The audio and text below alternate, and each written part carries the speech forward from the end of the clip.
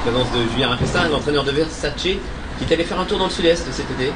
Ouais, il est parti deux mois à, à, côté de Cannes chez Yannick Briand. Voilà, il avait pas trop de courses par chez nous, c'est un gaucher, donc il est parti un petit peu sur la côte. Voilà.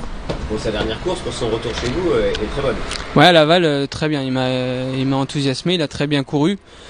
Euh, il a bricolé un petit peu entre les lignes droites. Je, je, suis rentré en contact avec un concurrent, ça l'a un peu déstabilisé et il a, il a failli m'échapper. C'est dommage parce que il était, il était parti pour, euh, je pense, lutter pour la victoire. Donc euh, malgré tout, sa course est très bonne. Vendredi, on peut dire que ça fait partie de ses bons engagements?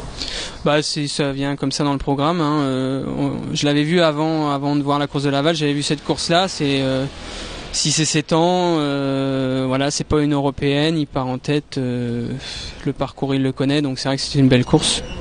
Vous avez fait appel au, au King, Jean-Michel Bazir Bah ouais, ouais, voilà. euh, tant qu'à faire, ça faisait plaisir au propriétaire. Et puis euh, voilà, je, le, le cheval, je lui vois une chance. euh, avec moi, je me voyais une chance d'être dans le quintet. Donc je me suis dit, si on a Jean-Michel, on a peut-être une chance de gagner. Donc c'est, ça se tente.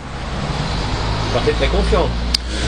Bah très confiant. euh, je connais mon cheval. Je sais que le, le bon Versace, il est, il est, il est dans sa catégorie. Il a, il a, il a son mot à dire pour les premières places. Maintenant, euh, voilà, hein, on court jamais tout seul. euh, voilà, je me fétiche peut-être un peu. Je vais pas, vais pas croire que c'est gagné d'avance, mais déjà, euh, s'il est dans les trois premiers, je serais très content.